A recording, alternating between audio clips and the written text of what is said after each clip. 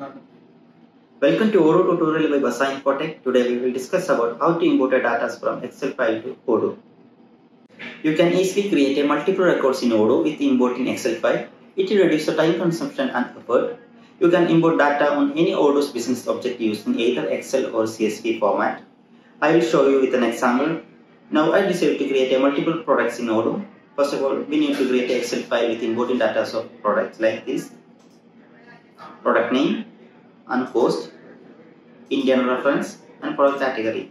You can see here three products car, bike and cycle with their corresponding cost and reference.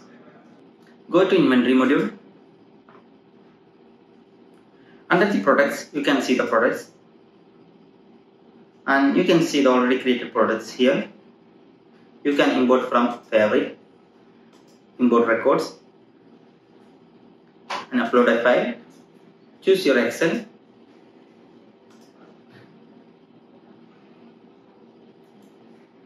Now you can see the file name, Odoo fields and comments and map them correctly.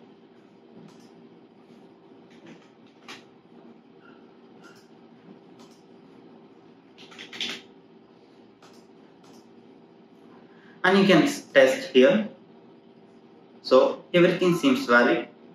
Then you can import. Now products are created. We can cross check here.